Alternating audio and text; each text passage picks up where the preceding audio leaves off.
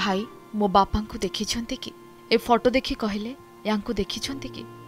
ଅଯୋଧ୍ୟାର ରାଜଦାଣ୍ଡରେ ବୁଲି ବୁଲି ଫଟୋ ଦେଖାଉଥିବା ଏ ଯୁବକଙ୍କ ବାପା ନିଖୋଜ ହୋଇଯାଇଛନ୍ତି ଯାହାଙ୍କର ଫଟୋ ଧରି ବୁଲି ବୁଲି ଜଣ ଜଣ କରି ସମସ୍ତଙ୍କୁ ପଚାରିବାରେ ଲାଗିଛନ୍ତି ସେ।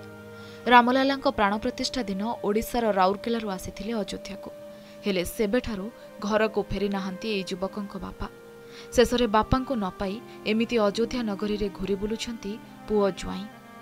ଏମିତି ଫଟୋ ଧରି ଘୁରି ବୁଲୁଥିବାର ଦେଖି ଆମ ଅଯୋଧ୍ୟାର ପ୍ରତିନିଧି ଅରବିନ୍ଦ ଗୁପ୍ତା ତାଙ୍କ ପାଖକୁ ଯାଇ ପ୍ରକୃତ ଘଟଣା ଜାଣିବାକୁ ଚାହିଁଥିଲେ। ଯୁବକ ଜଣକ ଦେଇଥିବା ସୂଚନା ଆଧାରରେ ରାଉରକେଲାରୁ ମନୋଜ ବେବର୍ତ୍ତା ଗତ ବାଇଶ ତାରିଖ ଦିନ ଅଯୋଧ୍ୟା ଆସିଥିଲେ ରାମଲାଲାଙ୍କ ପ୍ରାଣ ପ୍ରତିଷ୍ଠା କାର୍ଯ୍ୟକ୍ରମ ଦେଖିବାକୁ।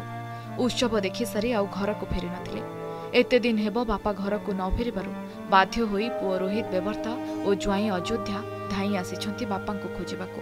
ଅଯୋଧ୍ୟାରେ ପହଞ୍ଚିବା ପରେ ପ୍ରଥମେ କିଛି ସମୟ ଖୋଜାଖୋଜି କଲେ। ପରେ ଥାନାରେ ଯାଇ ବାପାଙ୍କ ନିଖୋଜ ହୋଇଥିବାର ଅଭିଯୋଗ ଦାଖଲ କରିଛନ୍ତି। ଆଉ ଅଭିଯୋଗ ଦେବା ପରେ ବି ଅଯୋଧ୍ୟାର ଗଳି କନ୍ଦି ବୁଲି ବୁଲି ଏଭଳି ଫଟୋ ଧରି ପଚାରିବାରେ ଲାଗିଛନ୍ତି।